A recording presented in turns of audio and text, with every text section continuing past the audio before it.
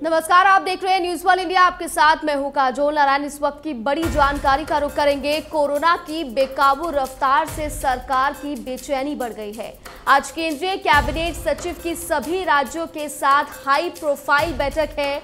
दिल्ली में मुख्यमंत्री केजरीवाल ने मंत्रियों और अधिकारियों की आपात बैठक बुलाई है। देश में अक्टूबर के बाद कोरोना के सबसे ज़्यादा केस सामने आए हैं। 24 घंटे में नए केस बहत्तर हज़ार के आंकड़े को पार कर गए हैं। अकेले महाराष्ट्र में ही तिरालीस हज़ार से ज़्यादा नए मामले सामने आए हैं। देश के आठ राज्यों में कोरोना बेकाबू है। इन आठ राज्यों में ही चौरासी फ़ीसदी कोरोना के केस हैं।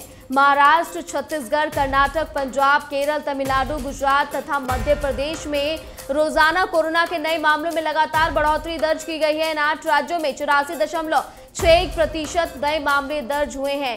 यानी कि एक बार फिर से कोरोना के आंकड़े डराते हुए नज़र आ रहे हैं। कुछ राज्यों में संपूर्ण लॉकडाउन है तो कुछ राज्यों में अलग अलग शहरों में लॉकडाउन लगाया गया है तो कहीं नाइट कर्फ्यू है। लेकिन उसके बावजूद भी कोरोना के आंकड़े बढ़ते जा रहे हैं। लोग लापरवाह नज़र आ रहे हैं। ऐसे में लगातार लोगों से कहा जा रहा है कि वो लापरवाह ना बने।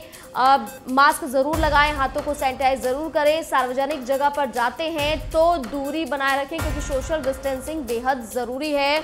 अगर ऐसे ही लोग लापरवाह रहे तो पिछले साल की तरह इस साल भी कोरोना का आंकड़ा जो है वो पीक पर होगा।